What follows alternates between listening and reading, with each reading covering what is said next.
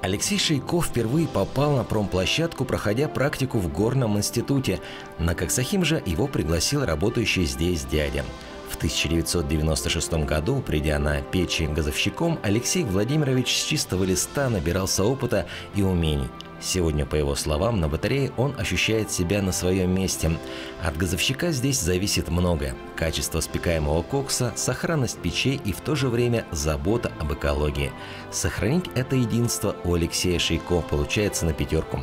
Годы работы научили его чувствовать батареи как живой организм, знать, когда добавить газа, а когда дать им отдохнуть. В канун Дня Металлурга Алексей Владимирович награжден почетной грамотой губернатора Челябинской области. Хотелось бы поздравить своих коллег, всех работников ММК, всех жителей города Магнитогорска с Днем Металлурга.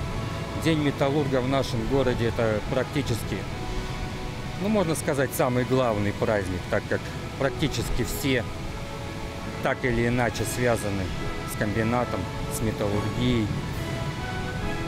Здоровья всем, успехов и побольше денег.